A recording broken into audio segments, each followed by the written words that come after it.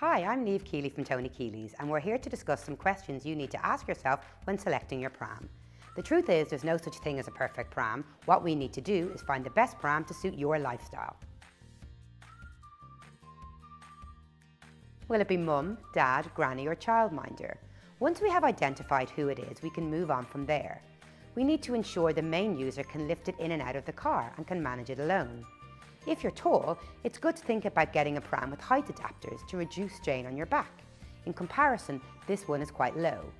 There are plenty of prams that are easily adjusted for different users once we identify who they are. Depending on where you live and where you'll be doing your walking will make a difference to the pram that's most suitable for you. If you're doing a lot of outdoor walking, you'll want something with bigger wheels and better suspension, so it's more comfortable for you and the child. Some prams are more suitable for shopping centres or for getting on buses as they have smaller wheels and they're more compact to fold. You need to ensure the pram will fit in the boot of your car.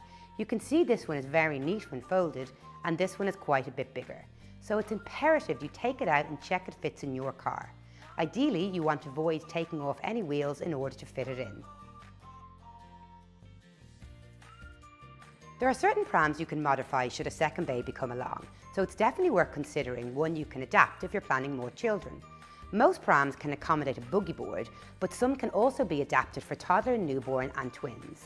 So again, another important point to consider before you make your purchase.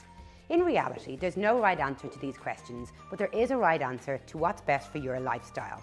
So please come and visit one of our stores where our staff can help guide you in choosing the pram most suitable for you.